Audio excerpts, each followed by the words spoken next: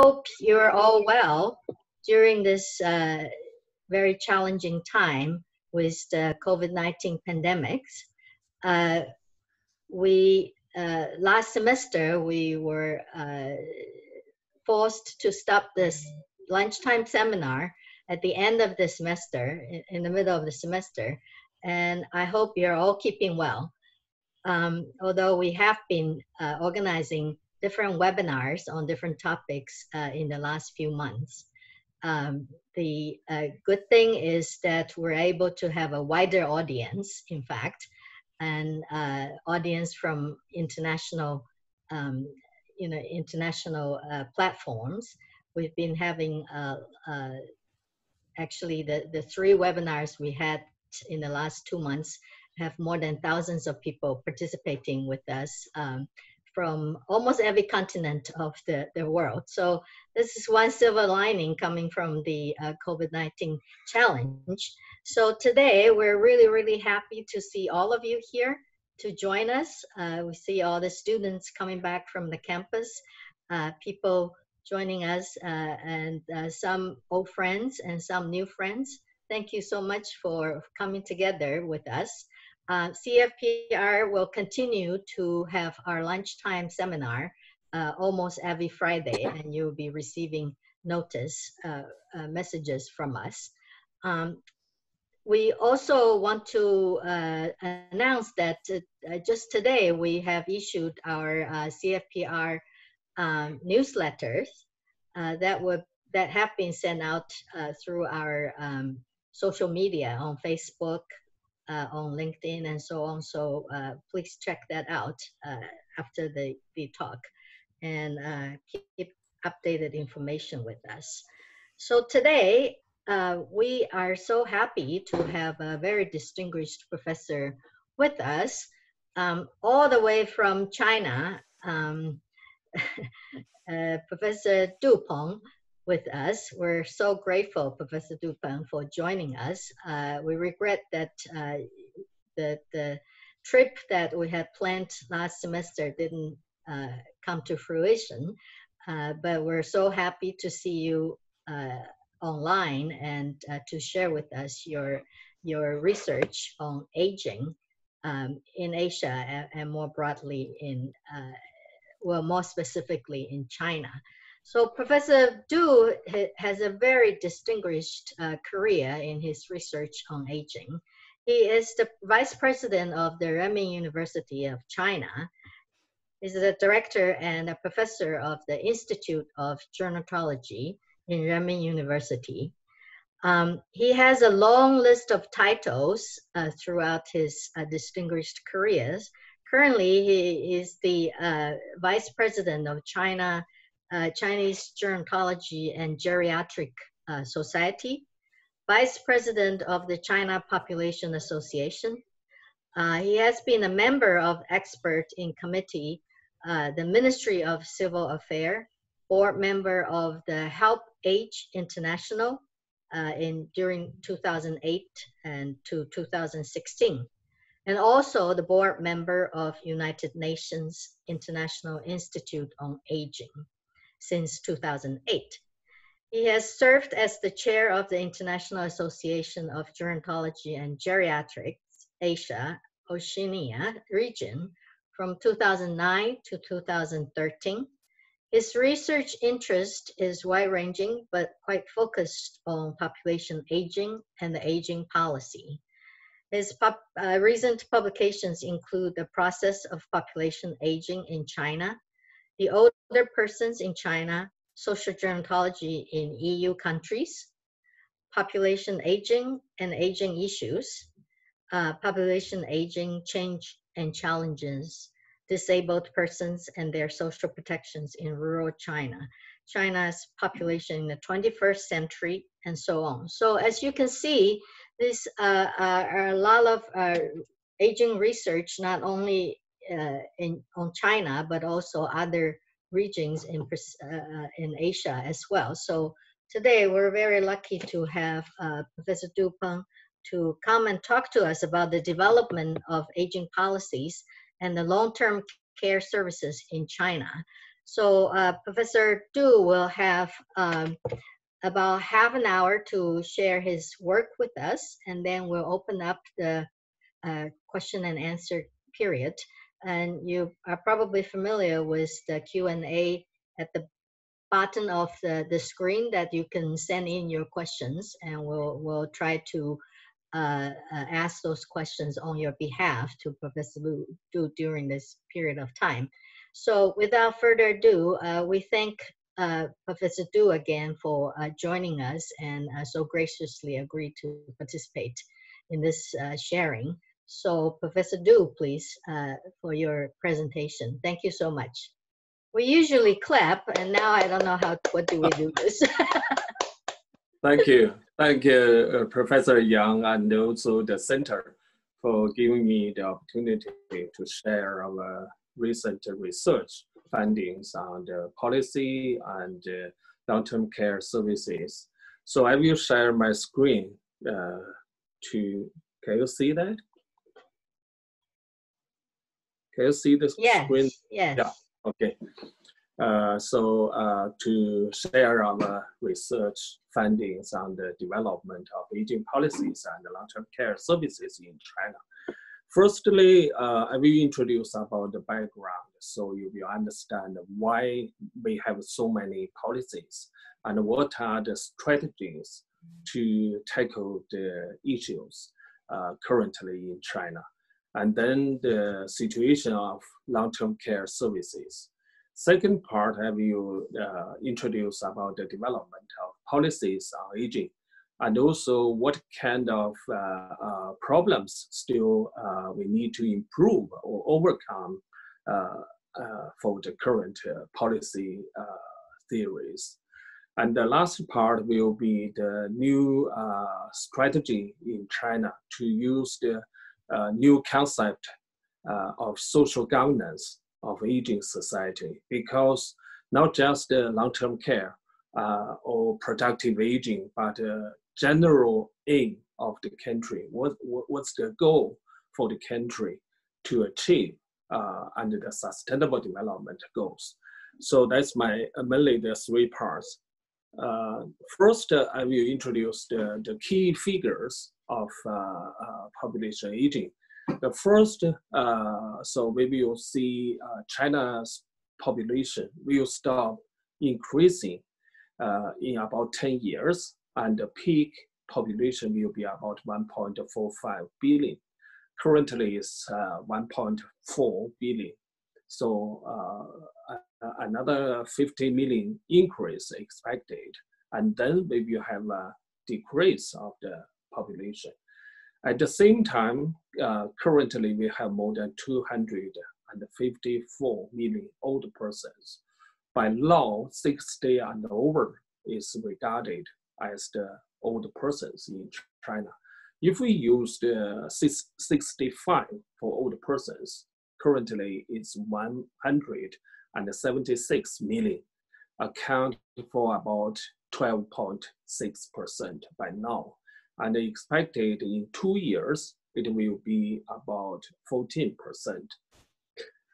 Uh, with the uh, UN uh, Sustainable Development, uh, Development Goals, uh, after that, China announced Healthy China 2030 by the State Council in 2016. There are, man, there are many key figures, key goals to be listed in the Healthy uh, China statement. One uh, indicator is by 2030, try to achieve the life expectancy at birth to 79 years. Currently, uh, by the end of last year, is 77.3. And then uh, we will I will show you the population projection by 2065 uh, under the current uh, life, life expectancy uh, projection, and also the universal two-child policy implemented since 2016. Uh, in fact, after that, the goal of the new policy is to try to have two children. Uh, on average, the TFR is expected to keep at 1.8. but by last year, it's only 1.5. So still uh, many arguments whether we should have more policies to encourage the families to have more children. So that's the background. Uh, under that background, uh, for long-term care services, uh, in 1994, for every year by the State Statistics Bureau, we have the uh, annual survey on the ADL problem. So from year 2000, every 10 years, we have a census. Uh, the question is about the self-rated health, uh, namely uh, ADL issues or whether they regard they are unhealthy or healthy. So the latest data will come from next November. Uh, they will use the, uh, the new uh, data collection system, the IPAD, to get the new data. Uh, so that will also include the ADL problems and the health uh, status in the latest uh, census we expected. Uh, for in the past uh, 26 years, the, especially from the census data, the old persons with ADL problem difficult, uh, uh, difficulties is about 3%. That means these 3% old persons, they cannot manage uh, independent living by themselves. So they need long-term care.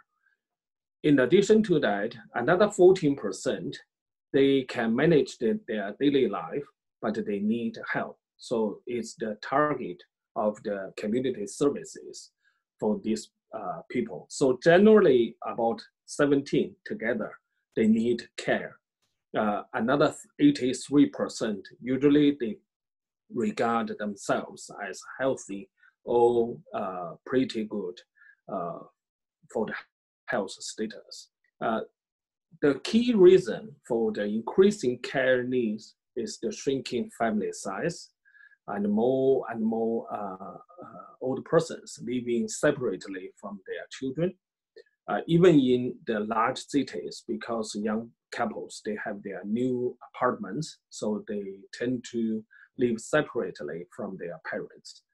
And the huge amount of floating population, emigration from rural areas or from the central or western part of China, uh, the total amount is around 250 million.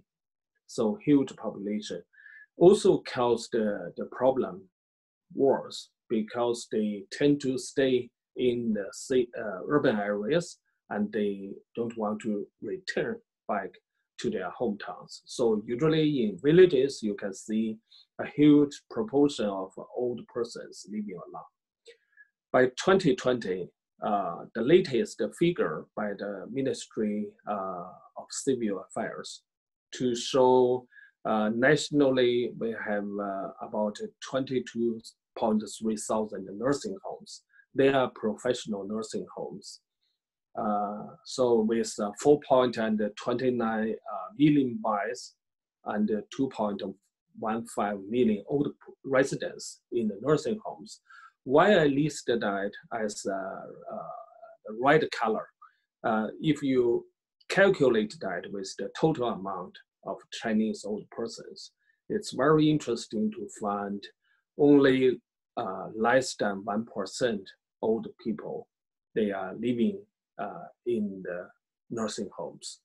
And uh, even for the nursing homes, on average, every nursing home has about 100 beds. For the uh, 100 beds, maybe only uh, uh, half of them are occupied. So uh, every level, we can't pro, uh, make use, uh, full use of the, the nursing homes to provide the services. So that's the, the latest figures, and we can see the challenge uh, not, not just to have enough number of nursing homes, the beds, but how to provide professional high quality services to uh, help these old people. And then uh, for the future, Uh, so uh, we expect to have uh, four, uh, say, uh, 412 million old persons by 2035. And by 2050, the number will be 480 million uh, for those 60 and over. So huge number, uh, the old persons will be doubled by today, comparing to today. today. So that's the uh, background why the government uh, will have so many policies to deal with the, uh, the challenges. So the proportion by 2050 uh, of the old people, uh, it's about 30, 38%.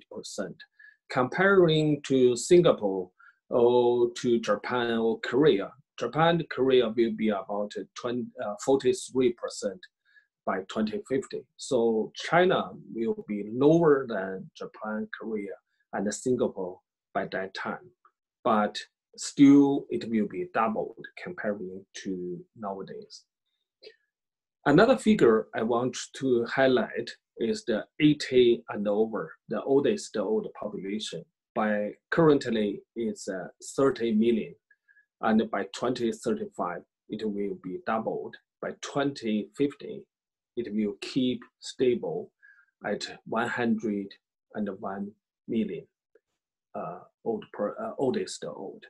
So uh, if we calculate uh, with the 3% old people with the ADL problem, so uh, there will be the care need for the ADL difficulty of old people will be 14 million.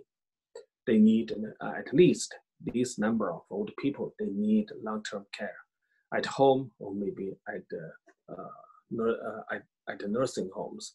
So uh, this figure shows the, the bars shows the uh, number of old person and uh, the line shows the uh, proportion. So by 2065, uh, the proportion will be stable at 40%, but the old persons uh, will decline after 2055. So the peak will be around 2055 so uh, close to uh, 500 million, but uh, maybe lower than that. Or we, if we have a better health improvement, maybe around that number. So uh, for oldest old, we can see a rapid increase, uh, both the figures and the proportion by 2065.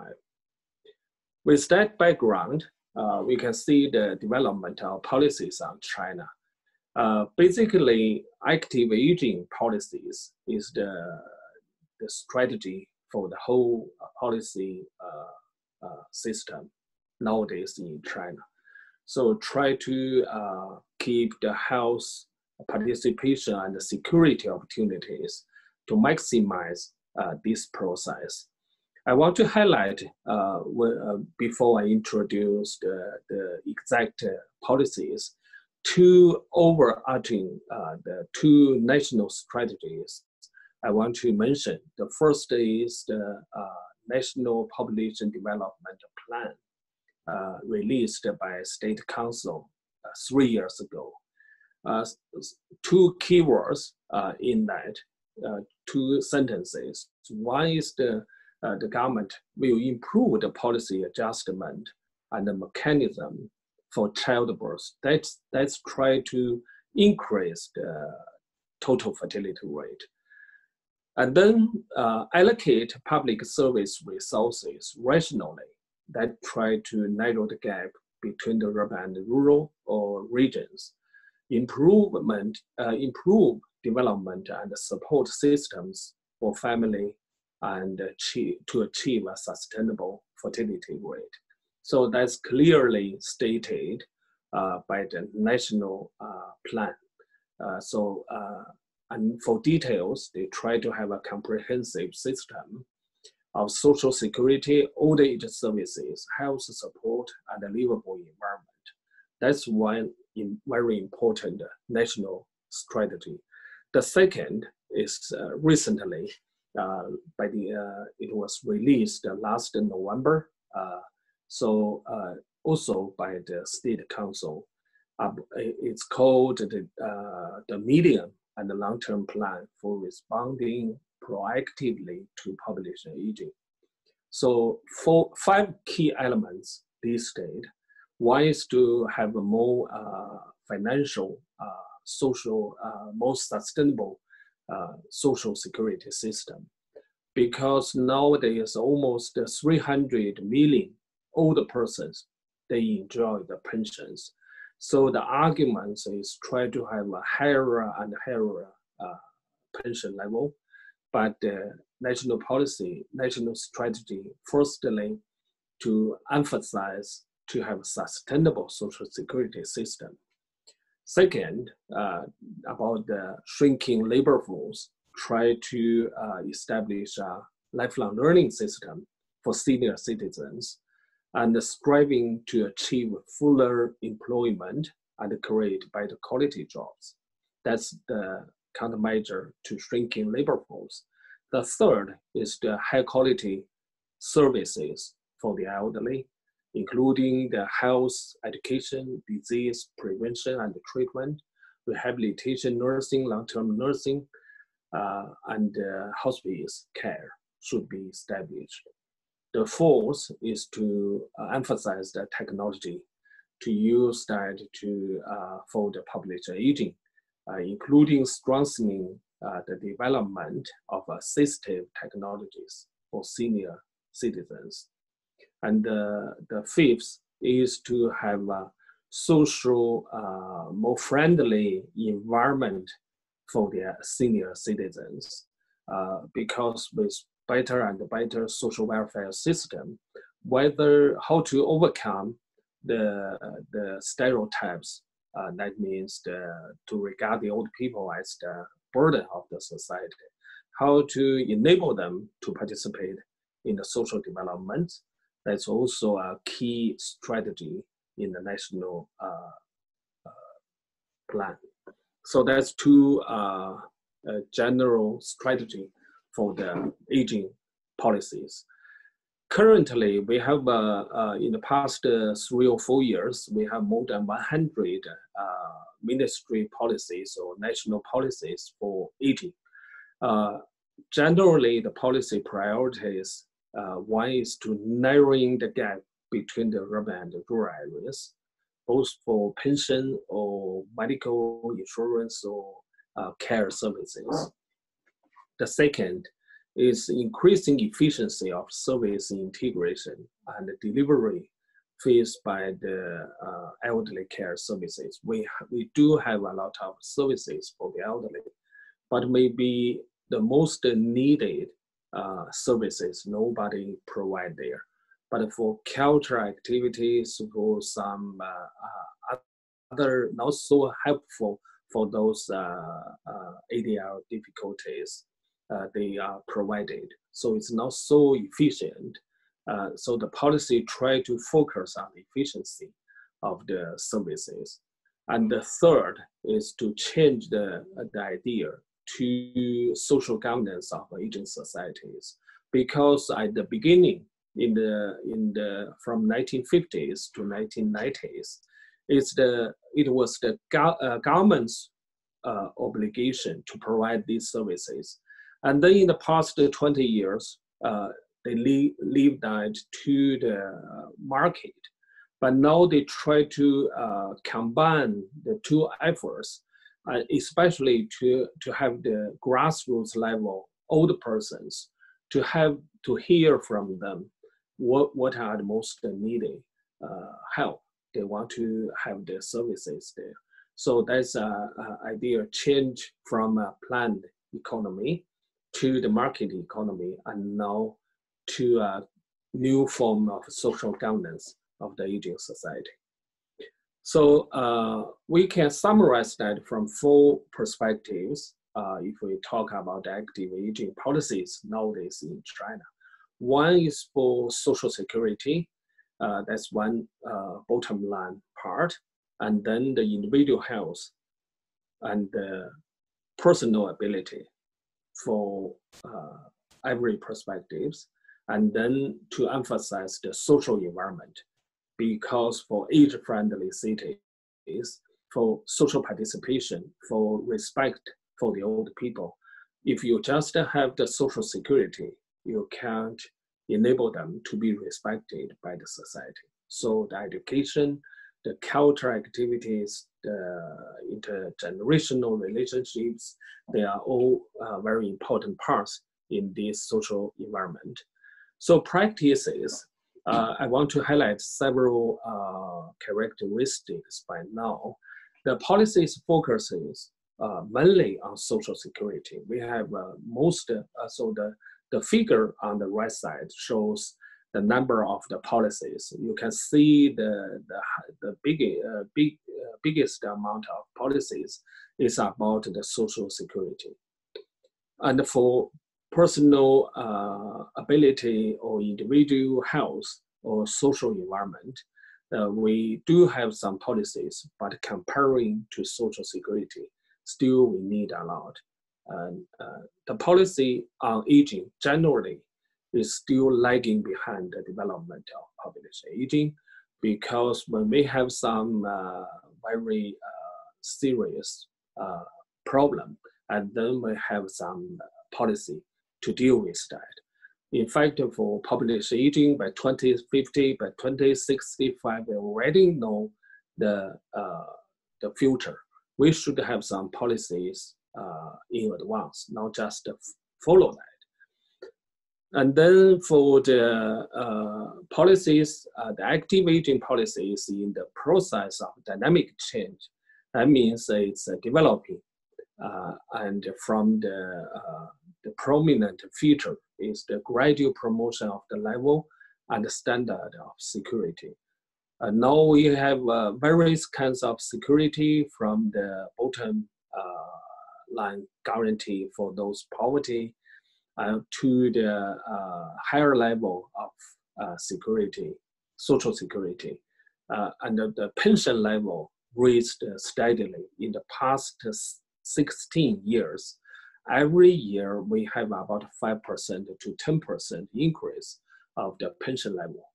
Uh, uh, for long-term care insurance, since 2015, we had we have already started the 15 city pilots. In fact, this year it should be expanded to more cities, but due to the COVID-19 pandemics, it's uh, affected a little bit. And then for the low income support, I listed some uh, key figures by now for those because uh, the, the government announced by the end of this year, we will eliminate the absolute poverty. Uh, so older persons uh, is a key part of this poverty uh, population. So that's the key figure. Uh, they already provide support for these people. And then for the whole system of the, the aging policy, uh, it's a, a multi-layered uh, network is maturing, uh, including the lifelong learning, uh, livable environment, care services supply, uh, silver industry, prefer preferential treatment for the elderly, and long-term care insurance. And then for the uh, uh, elderly services and uh, service system, I want to mention it focuses the big fundamental change is the integration of home, community, and institutions. Why I'm talking about that? Because at the beginning, people talk about whether we should rely on the institutions to provide care. And then in fact, the traditional model in China is to depend on the uh, family members to support for the elderly. So, and now after so many years arguments, uh, now the general uh, idea is to see to uh, seek the integration of the three models, not just only emphasize one part and uh, uh, and criticize another one. Elderly service system is evolving from the traditional family support to socialized and market-driven services. And then the last part is the governance of aging societies. Uh, so the framework is to deal with the challenges, uh, we should have the life course perspective, namely not just focus on the poverty of the old person, because when they had the poor health, uh, we have to follow that to the occupations before they entered the old age. And then we find before the occupation, they may have um, they may have poor education, and before the education background, maybe they had poorer, uh, say, rural uh, life experience. So if we have the uh, life course perspective, we can do a lot, not just at the old age, to prevent the poverty, to encourage the social participation in the later lives. And then for the age-friendly environment, uh, the whole idea is to have to give them the opportunity to at the home and also for the outside social environment, uh, especially to encourage the whole society to respect the old population. It's a big challenge. I will talk uh, a little bit more about that. And then the more policies needed to, uh, especially to empower the old persons, not just to give them the welfare, uh, to hear from that, to, to get the feedback from them, uh, because by 2050, uh, our research funding found the old person with a higher education background will be more than 18% by 2050 these new cohorts of old people, they will have more uh, uh, rights. They want to have more voice heard in the development of the aging policies.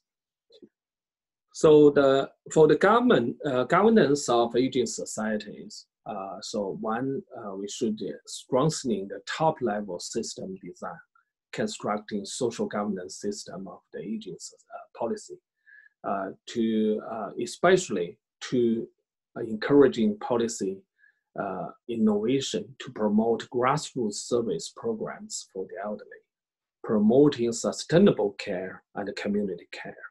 Because more and more experience in China come from the grassroots innovations, not from the central government, but the central government may summarize the good uh, practices to uh, summarize that as national policies to encourage that.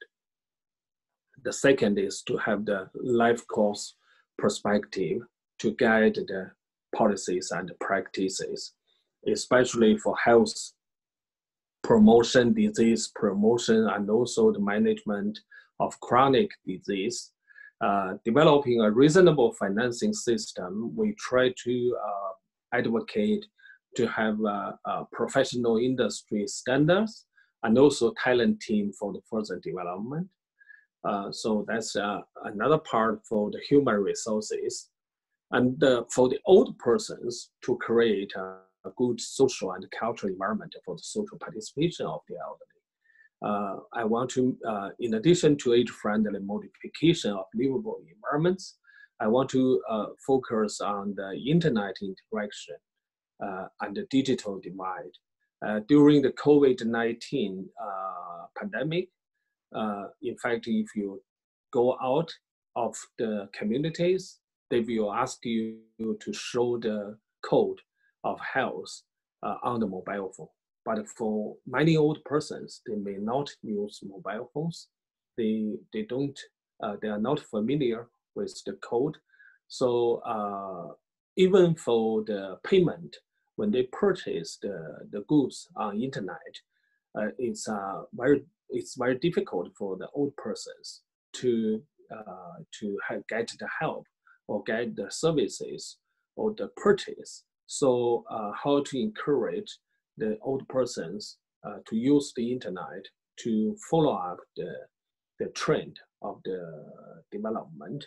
It's also a big challenge. We need to have more policies on that. Uh, during the, the last uh, four or five months, I also had some interview by the radio or the TV to talk about that. In fact, uh, try to uh, use online ticket uh, by the train, by the, uh, the, the, museums. Uh, they are also the obstacles for the old persons to, to prohibit them to, for some social activities. That's a new topic for research and the policy, how to integrate the old persons in it. And uh, another part is the focus on the needs of the elderly, empowering the old person, uh, especially for education of the elderly. Last year, uh, in fact, the national education uh, plan for the long run uh, list uh, elderly education as part of the national education system. before that, the majority of the education for elderly was regarded as culture activities. It's not education programs, it's culture programs. So uh, it's very uh, important to give the opportunity, especially now we have a webinar and in fact we have many courses can be provided online. Uh, it also give uh, old persons more opportunities to learn from their the, the various of uh, causes to sacrifice their knowledge uh, needs for their learning. that's we need to have some policies for that. So that's some general introduction about the uh, the background of population aging in China and uh, the national strategies uh, try to follow up the sustainable development goals and Healthy China 2030, and then the policy developments in China and uh, under the new framework of social governance of aging society, what we are trying to do uh, for the policy developments. So I will stop here to uh, for any questions and comments. Thank you. Great. Thank you, Professor Du. Um,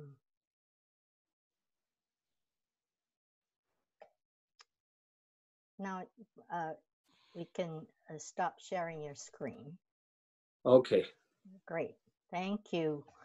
Um, thank you for the very comprehensive overview of the uh, rapidly aging society in China. Indeed, this uh, trend is some experience that we have never seen mm-hmm. in uh, human histories.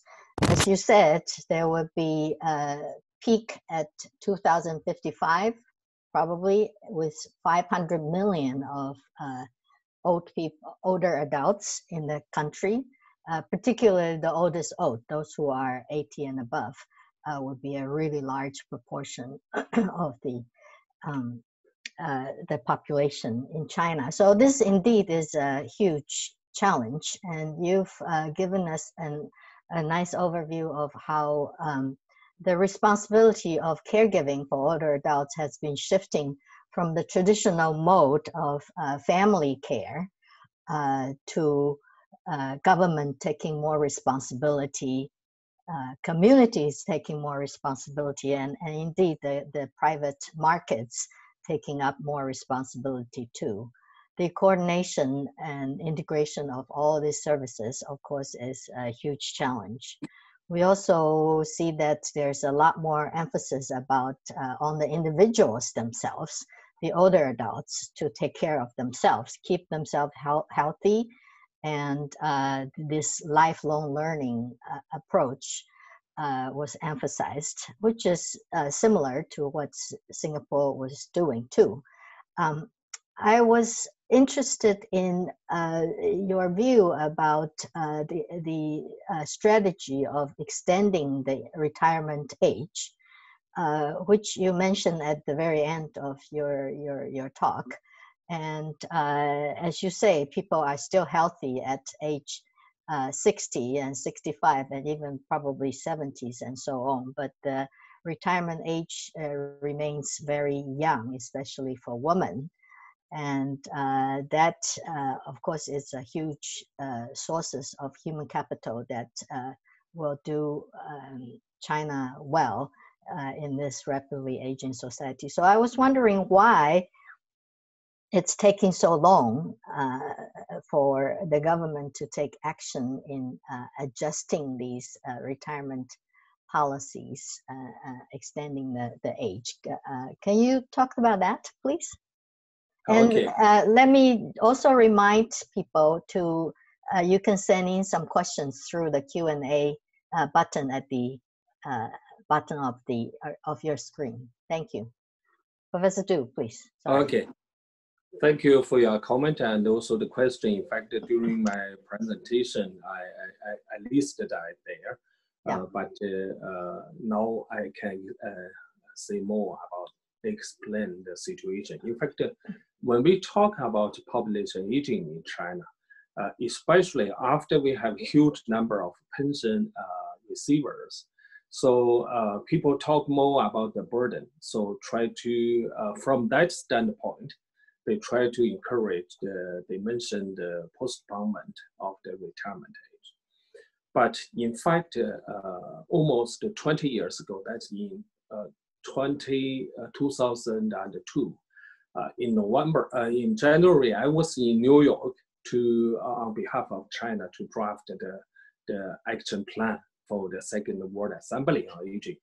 I, I noticed, uh, and also we agreed uh, there is one special article on that to have uh, uh, every country uh, try to have a flexible retirement system.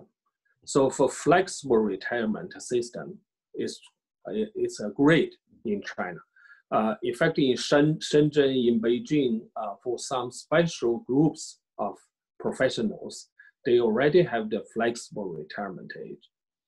But for national policy, uh, when we try to postpone the retirement age, we have to think about the new, the young, gen- young generations, young people's employment, their job opportunities, to balance that with the postpone of the uh, retirement age. So uh, I want to give you a figure of that. this year, almost every year, 12, 12, 000, uh, 12 million new jobs created in the past two years. But this year, only for universities, we have uh, more than 8 million graduates. So um, that means the majority of the new jobs will be occupied for these uh, graduates. Uh, so you have to secure these jobs to encourage the young people to have the jobs. And then that's why in the past one or two years, in fact, people talk about the ret- delay the retirement age, but in fact, it's not possible at this stage uh, because more and more uh, young people, they you, you have to have a job for them. At the same time, we don't have the system, the policy to postpone the retirement age. One, uh, one example I, I, I usually uh, give is in Beijing and Shanghai. Rarely you can see the uh, middle-aged persons to drive the taxi. But in, I'm not sure whether that's the same situation in Singapore, but in Japan, in Korea, you can see many old drivers around 17. So, uh, but in, in Beijing, it's impossible. Only young people, 30 or 40, they, they are the taxi driver. But what are the policies if we want to encourage the local drivers to join this team? So we need uh, not just uh, postpone the retirement age, but how to have the new policies. We really appreciate their efforts, their contribution to the city, and give them the opportunity. So that's why I mentioned uh, uh, we, we, we talk about the retirement age but we need more policies and especially balance the jobs for young people to the job of old persons. I see. I see. Uh, we also seen research says the uh, old people actually take up somewhat different jobs than the young people, and that there may not be one-to-one uh, replacement rate uh, in in the labor market. But uh, coordinating this, of course, is very uh, a, a, very big challenge, uh, which I definitely agree. Um, I realize that you're not able to send in um, questions through chat, but you can raise your hand uh, if you have um, a question and unmute yourself to ask the questions. May I uh, invite more questions, please? Uh, Dr. F uh, Professor Fong, please. Oh, thank you very much, uh, Professor Du, for this uh, uh, wonderful presentation. I, I, would I would rather you know ask you you know in this way. I, I have a question about because you are one of the main scholars get involved into the national policy making in China's aging matters.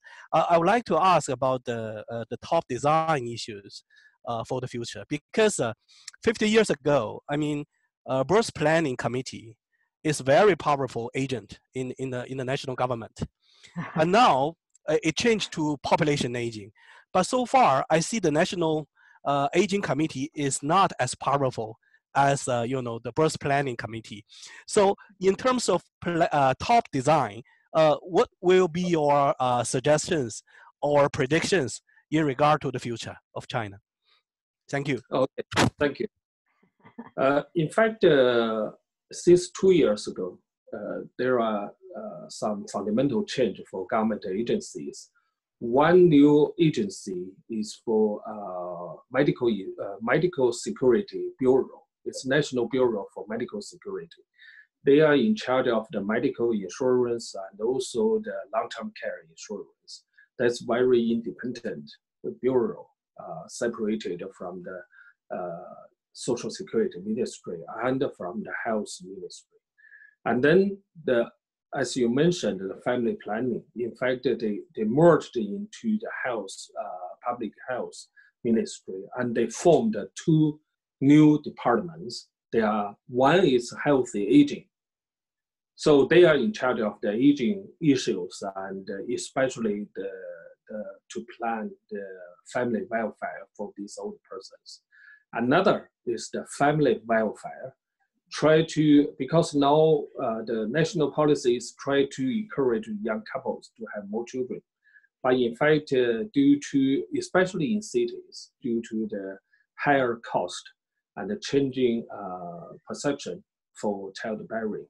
So we need to uh, need a lot of services for uh, the kindergarten and also uh, uh, subsidies for the childbearing.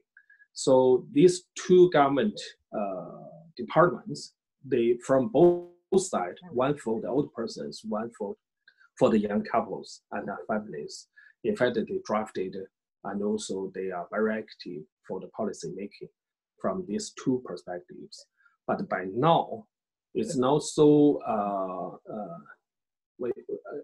the, the fertility level is not so ideal, uh, still uh, lower than expectation. So uh, more policies or more welfare is, is uh, asked. but I'm not sure whether it's, uh, uh, it's working or not. But the direction is to give more support, more welfare along that way. In fact, many experience in Japan, in Korea to encourage the fertility, uh, to raise the fertility is learned, is noticed, uh, but still, uh, uh in fact, um, for academic meetings or research, many research on the zero to three years old children, their welfare and family support uh, are done in the academics and government policy research. So it's very interesting uh, direction. Uh, more actions, I think, in the next year may be taken by the government to encourage the, the fertility perspective. Thank you. Thank you. Thank you. I have a, a question from the floor uh, uh from Dr. Eileen Wong. Um, the medical cost is rising in China. Is there any move uh, or government policies to utilize more on the Chinese medicine, uh, given the demographic shift and the high cost.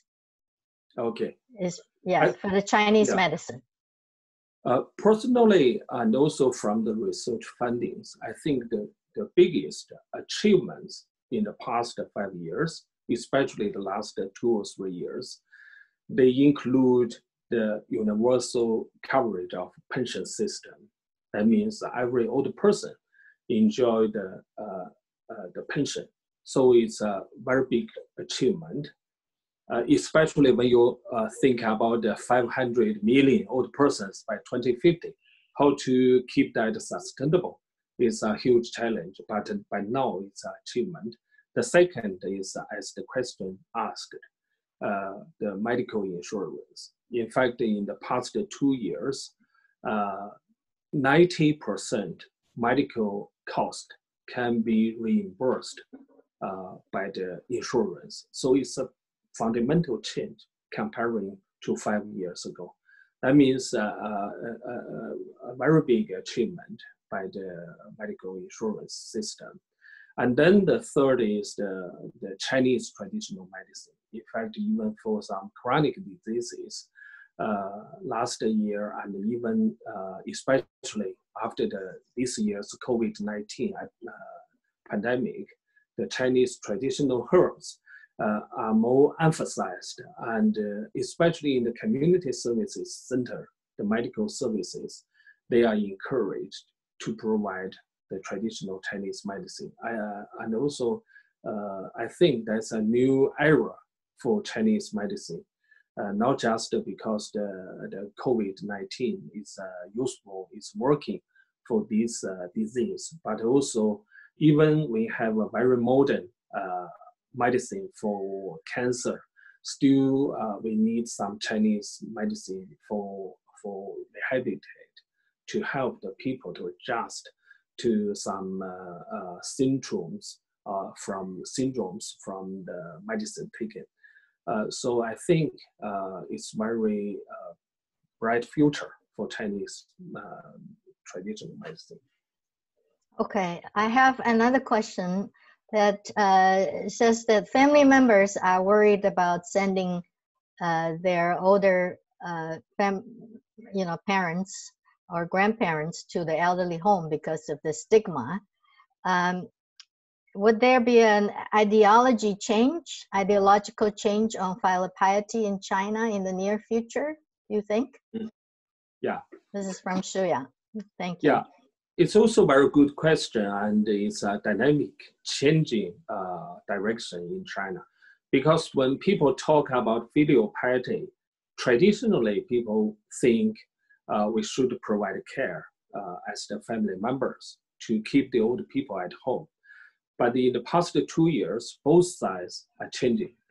But for family members, the, the, the best practices of filial piety is to guarantee their old parents to have the best service. It's not at home, but anywhere, maybe at the community center or at the nursing homes, if they can provide professional care better than at home, that can be regarded as the filial piety. So not just as family members. On the other side is the nursing homes or apartments for the elderly. They try to, uh, because of the maturing experience of their development, they have a better and better reputation, especially for some high quality nursing homes. So people realized it's not the traditional uh, village nursing homes but it's very modern, very uh, with uh, with dignity to live there to get better uh, health, uh, better care. So from both sides efforts, I think it's changing. Uh, but still, we can see a lot of arguments if you just say, I send my parents to nursing homes. Many people will not understand why this happened. But for old persons, children, they know which is better for their parents. So I think that's a new tradition uh, changing to the more modern uh, uh, perceptions. So I think that uh, that also gives uh, many opportunities for the new professional care providers. Thank you. Thank you. Um, another question is uh, asked about the um, are there can you elaborate on policies for enabling the older adults other than uh, sending them to schools or education of the elderly, uh, 老人老龄大学, for example. Are there other ways to enable the older adults? Yeah. Uh, in fact, uh, uh tomorrow I will go to Shanxi province. They will have a national conference for uh, health uh, or health or culture tourism forum. Oh. In fact, uh, for, for many cities or villages, they try to have the old persons as the volunteers or they can have some uh, learning at the site uh, for tea making or growing or pottery making. So not just at the uh, youth, youth 3A university for 38, but also they can have more opportunities in the communities, uh, not just for uh, U3A, but also for volunteering uh, work in the communities. Thank you. Can you also talk about what are some of the strategies to integrate the uh, home-based care and community-based care better than uh, uh, better than before, so they work more efficiently? Um, yeah, several people are wondering about how the integration issues and what are the more effective strategies to involve communities and home-based care. Okay, uh, home-based care, uh, in fact, is the, the biggest share uh, in the care, uh, especially in the communities. But the, the policies are changing to, to enable the nurses or medical professionals to, pro, to visit their homes. In, in the past, due to the security reasons, is prohibited but now we had we have some good practices, especially in Qingdao, Shandong province. They have some uh, uh, doctors, local doctors, to tour the local uh, the old peoples at their home to give some uh, professional guide or diagnosis for these old people. Uh, especially in Shanghai at the community levels to uh, and the Nanjing city, uh, the site is uh, uh, without a wall, the nursing home without a wall. So to provide the professional care, but at their home. So that's the new direction for many cities. Uh, but it depends on the insurance system and also the medical uh, authorities to uh, allow them to merge the medical and social services. Uh, during the COVID-19, one challenge is uh, because old people, if they had some medical problems, but they could not go to the, uh, the hospitals. So if they go to the hospitals, maybe it's not difficult, uh, it's not so easy to return back to nursing homes.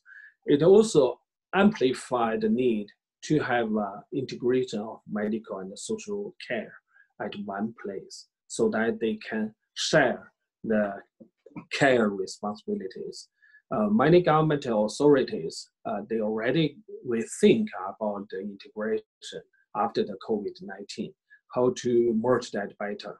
I think it's also part of the lesson from the COVID-19.